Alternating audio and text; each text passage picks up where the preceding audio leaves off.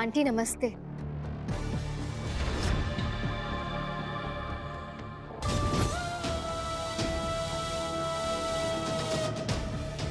गलत घर में आई हो तुम। यहाँ पे कुत्तों का और तुम्हारी फैमिली का आना मना है।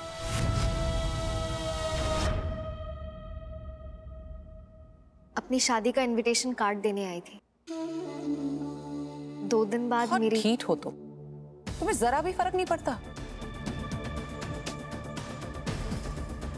मेरी बेस्ट फ्रेंड की माँ है आप।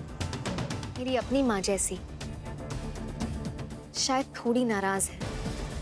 हक बनता है आपका। अब कह लीजिए आपको जो भी कहना है।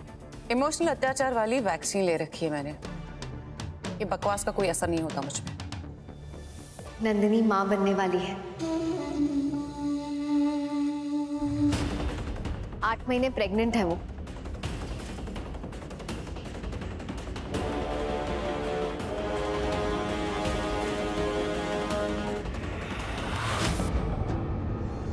अगर वो शादी मेरी मर्ज़ी के खिलाफ कर सकती है तो अपना बच्चा भी मेरी मदद के बिना ही संभाल लेगी।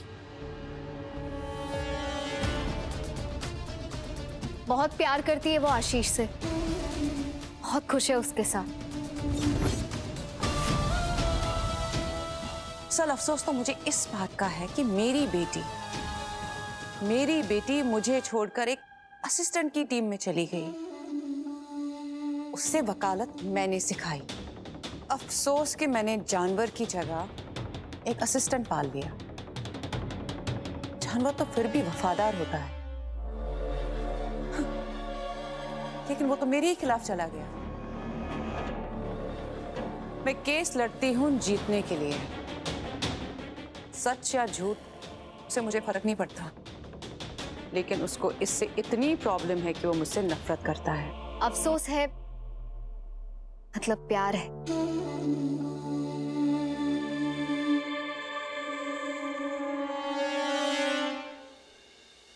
आंटी आपके और आशीष के बीच में सिद्धांतों की लड़ाई है। बट आंटी ट्रस्ट मी कि नंदू को आशीष से अच्छा हस्बैंड मिल ही नहीं सकता था। नंदिनी आपकी बेटी है। उसका बच्चा होने वाला है। आप नानी बनने वाली हैं। कोई भी मैटर इन सब बातों से बड़ा कैसे हो सकता है आंटी? मेरी शादी के बहाने सही प्लीज़ नंदू की ज़िंदगी में वापस आ जाइए। आंटी, माँ तो सब कुछ माफ़ कर देती है।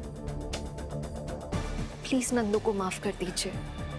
और प्लीज़ मेरी शादी में आइए।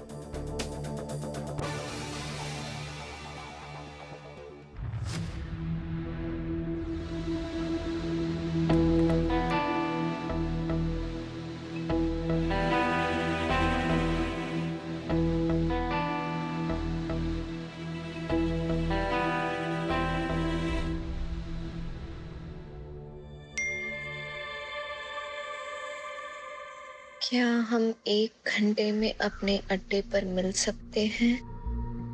हाँ।